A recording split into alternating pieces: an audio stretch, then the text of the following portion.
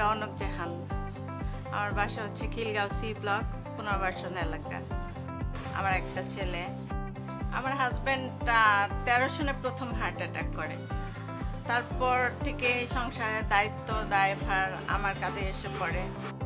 সবসময় ইউনিভার্সিটি থেকে আসার পর মানে ফ্যামিলির সাথে যে একসাথে গল্প করার বিষয়টা, এটা খুবই আনন্দদায়ক, যেটা অলওয়েজ আমাদের মধ্যে হয়ে থাকে।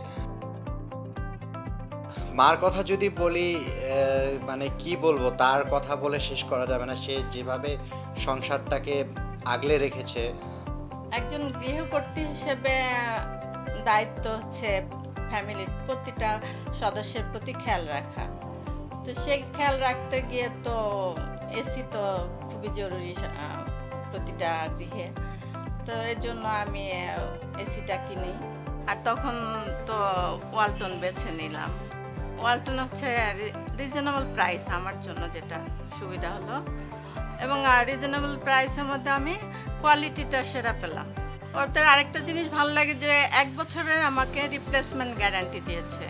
আরেকটা ওদের স্লোগান আছে যেটা আমাদের পণ্য। আমি তো একজন দেশপ্রেমী হিসেবে মনে হচ্ছে যেটা আমার বেছে নেওয়াটা বেস্ট হয়েছে। এসি তো কিছুদিন পর পর সার্ভিসিং করতে হয়। আমি যখন ফোন দেই সেবাটা আমি সাথে সাথেই পাই। তার এটা নেওয়ার পরে থেকে আমি এখন সব কিছু আর বাইরেও না। আমি খুব ভালো আছি।